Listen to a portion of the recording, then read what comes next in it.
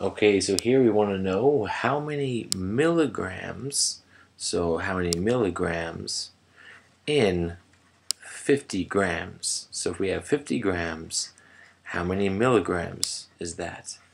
Well, let's start with our simple ratio here. If I have one gram, right, how many milligrams do I have?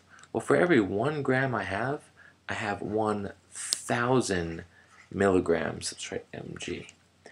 So this is a ratio it's constant, right? So if I have 2 grams, then I've doubled the amount of grams, so I need to double the amount of milligrams. So with 2 grams, I'd have 2,000 milligrams. You imagine the size of a gram, right? A milligram is a thousand times smaller. So it takes a thousand milligrams to get one gram and 2,000 milligrams to get two grams. If I multiplied this by 10 or, or 10 groups of 2 grams, I have 20 grams, right? Let's fix that, 20 grams.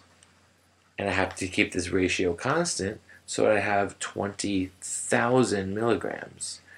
And essentially what's happening is, of course, oh, excuse me, if I multiply my amount of grams by something, I must always rescale the milligrams by the same amount. So if I look at my unit ratio here, right, this is a unit ratio because it tells me how much milligrams are equal to 1 gram. I can simply multiply 1 gram by 50. And by doing that, I get 50 grams.